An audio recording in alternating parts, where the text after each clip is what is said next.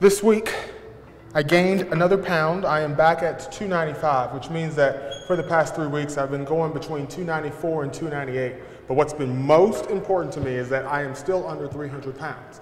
But I kind of wanted to use this week, this last week of the contest, to answer a question that many of you in East Texas have asked me.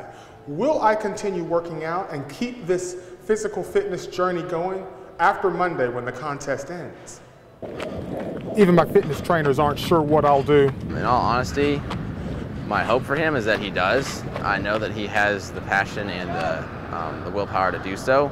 Whether he chooses to or not is entirely up to him. I've been hesitant to answer that question. In the first month, I felt trapped into the contest. I did focus my energy on getting to April 15th and being done with the running, the lifting, the sit-ups, and the sweat.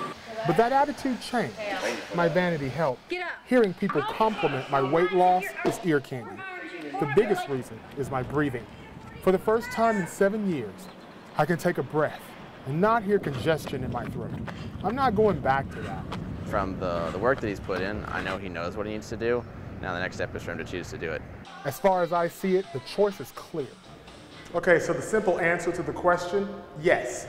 I am going to continue. I don't want to be over 300 pounds again, and I kind of want to continue losing weight.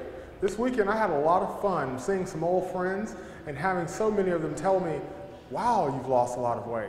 I've heard that in the past, but it was probably over 10 or 15 pounds of water weight, and I never really took the compliment because I knew it didn't mean that I did something. But this time, for the past three months, I did something. And this was no New Year's resolution. I got something done and I'm going to continue to get it done. Promise you that. Reporting in Longview, Gregg County, I'm Jimmy Isaac, KYTX, CBS 19 News.